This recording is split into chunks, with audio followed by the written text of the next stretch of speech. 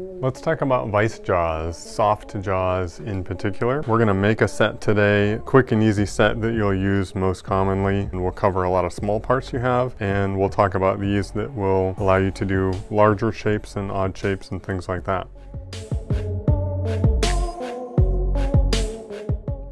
Starting over here, these are a pair of standard six inch Kurt style vice jaws. And these are hardened steel. They are ground, pretty precise, pretty much our everyday go-to for square, rectangular, prismatic shapes that you can clamp on, that you have access to flat surfaces to hold onto. Over here, we're looking at a basic application for soft jaws. Making a part like this, you might have some difficulty in holding it securely to do an operation on it or to finish a second side, something like that. Soft jaws give you the ability to cut into the jaw. These are aluminum most commonly, but you can make it out of whatever you want. If you're gonna have do thousands of parts, you might have multiple pieces set up in one jaw set and maybe you'll make them out of steel so they wear slower. But what it does is it allows you to cut into the jaw any shape that you need to match the form of your part and clamp it more securely than you would if it was just in a flat jaw. This would be even better if it was profiled to the part, but for this operation we were doing, it didn't matter. This is another very common set. These are old, you can tell because they uh, haven't been used in a while. And a lot of these, these were used mainly for cutting circles. So you're able to clamp on round stock or round parts very precisely and very securely. You can see a smaller diameter in here. And then if you open the jaw, you can see that this one was cut at a larger diameter so you can fit a large round part in here also. So these are what we're gonna make today. This is a standard common set that we use. They are based off of the standard six inch vice jaw. They're a little bit taller, which gives you the ability to flip them over and use both sides. So if you look, you can see a little bit of oblong in the hole and the counter bore for these. That is so that it will fit on the Kurt vise